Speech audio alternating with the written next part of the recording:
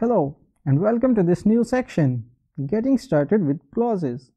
In this section, we are going to understand different types of clauses to make us eligible in working with Neo4j. For this video, we are going to focus on the merge clause. For that, we have some learning objectives. Let's see what are they. First of all, we will see the overview of merge clause and after that we will simply dive into the main area where we are going to merge a node with label then with properties. We will also see how merge command helps in matching and creating relationship between the node. And in the end, we will understand on create and on match command. That's all for the learning objectives. Now let's proceed to the overview. Merge command is a combination of match and create command that looks for the specific pattern in the database on user request. Merge clause actually first tries to find the given pattern and if it fails to find, it simply creates a new pattern and return the result to the user. Now let's see merging a node with a label.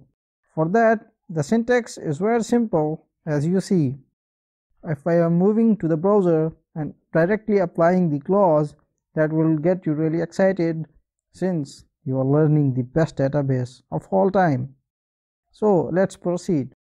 As you see, at this time the database is empty and after running this command, it will simply create a new node with a label person.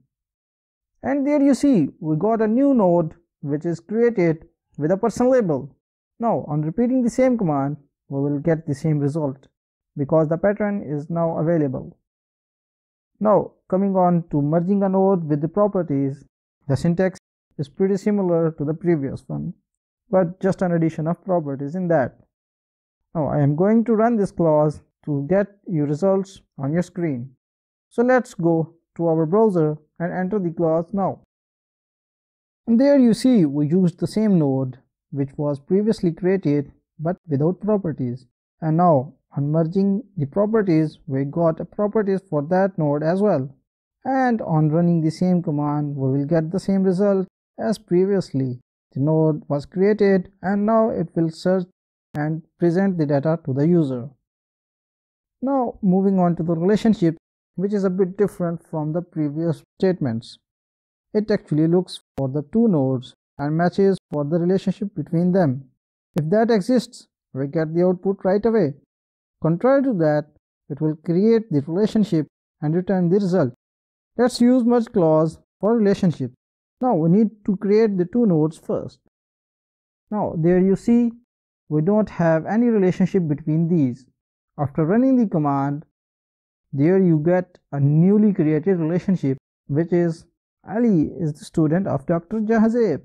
And on repeating the same clause, we will get the same result as expected since it founds the value from the database and the pattern matches.